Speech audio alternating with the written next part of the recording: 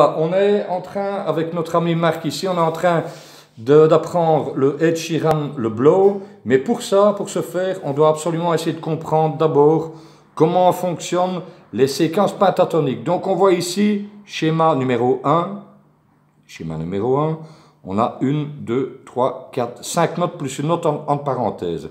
Ce sont les cinq premières notes de notre premier schéma pentatonique. Il est un peu compliqué à comprendre dans la mesure où certaines notes vont, jouer, vont être jouées sur les cordes à vide, mais je montre. Donc, mi, sol, la, si, ré, mi, mi étant la première note de la séquence. C'est pour ça qu'elle est en parenthèse.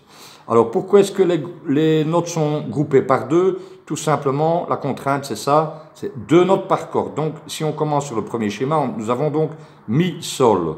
Mi étant la corde à vide. Sol étant la seconde note. Mi, Sol. Corde suivante, deux notes. La, Si. La, corde à vide, Si. Corde suivante, Ré, Mi. 1, 2, 3, 4, 5. Et puis on recommence. 1, 2, 3, 4, 5. Donc Mi, Sol, La, Si, Ré, Mi. Mi, Sol, La, Si, Ré, Mi. Voilà, ça c'est le départ de notre premier schéma pentatonique. On passe sur le deuxième, schéma numéro 2.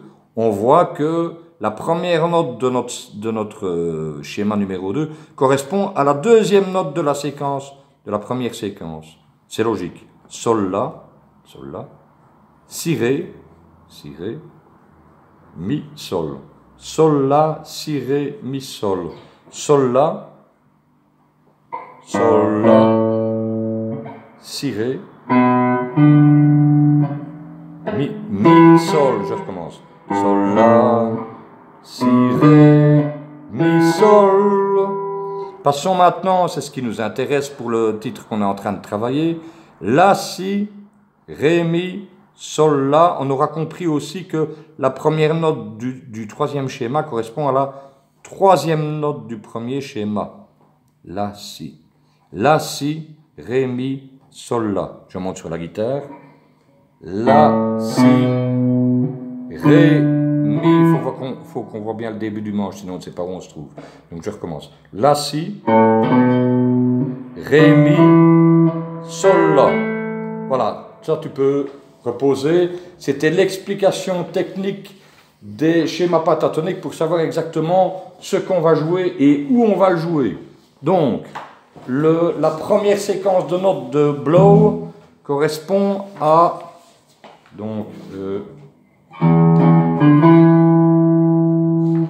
Ré, Mi, c'est cette séquence là. Ré, Mi.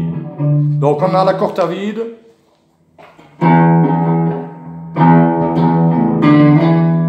Ok. Et la deuxième séquence de notes va correspondre au euh, à la première séquence de notes du schéma 2, mais joué à l'envers. C'est pas sol là, c'est la sol. Voilà, mais le but, notre but ici maintenant, ça va d'abord d'être être, euh, de mécaniser la première séquence mi, mi, mi, ré, mi, mi, ré, mi, c'est ça. Mi, mi, mi, ré, mi. Et attention, il y a un mélange de croche et de double croche. Donc, mi, mi, c'est des croches, donc vers le bas, bas, bas. Après, on passe en double croche. Mi, mi, mi, ré, mi, bas, bas, haut, bas, haut. Bas, bas, haut, bas, haut. C'est bon, n'oublie pas de poser ta main. Ok. Ça c'est bon, ça manque un peu de précision mais c'est pas grave. Ça c'est mieux. Voilà, ça c'est pas mal. Ok. Ça, cette séquence-là, elle est à placer sur le premier temps d'une mesure. Donc c'est-à-dire 1, 2, 3, 4, mi, mi, mi, ré, mi, 3, 4, mi, mi, mi, ré, mi, 3, 4. Mi, mi, ré, mi. Ok, parfait. On essaie avec une vraie batterie. 1, 2, 3, 4. 3, 4. Oui.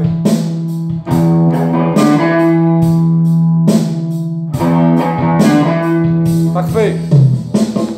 Très bien. Ça, c'est notre première séquence. Donc, il faut la répéter jusqu'à plus soif jusqu'au moment où le mouvement devient automatique.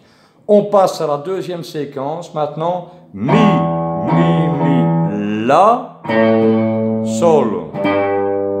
Donc, le, dans la main droite, c'est exactement la même chose. Hein. Donc, ba, ba. Qu'est-ce qu'il y a? On ne voit pas à la tête avec le truc.